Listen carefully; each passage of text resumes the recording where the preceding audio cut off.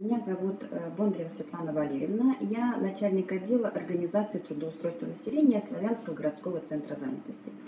И э, сегодня я хочу рассказать о новых методах э, в работе Государственной службы занятости. С 1 января 2018 года в службу занятости, в работу службы занятости было введено понятие кейс-менеджмента, сопровождение при трудоустройстве по кейс-менеджменту.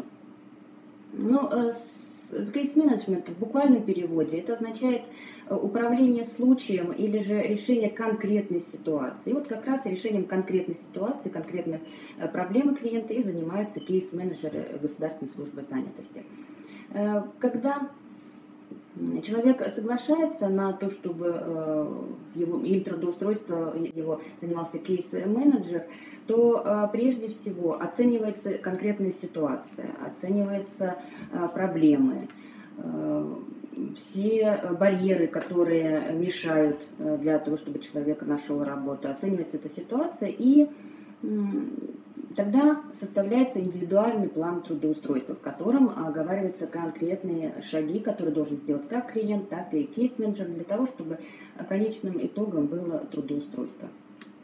Кейс-менеджер, э, кейс-менеджмент, он э, направлен прежде всего на поддержку э, тех категорий населения, которым, ну, самые, которые самые уязвимы на рынке труда, которым сложно конкурировать на равных с остальными, это мамы после декрета с маленькими детьми, это э, лица предпенсионного возраста, это выпускники учебных заведений.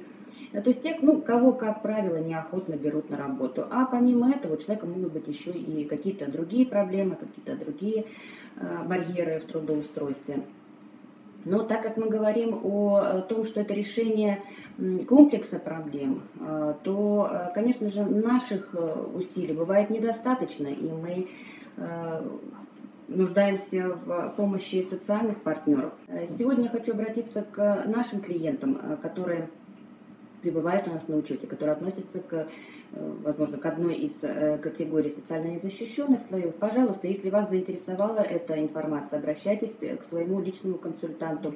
Вам дадут более развернутую информацию, более подробно расскажут, как эта система работает на практике. И также я обращаюсь к людям, которые не состоят у нас на учете, но также нуждаются в помощи в трудоустройстве. Пожалуйста, приходите, мы всегда будем рады вам помочь.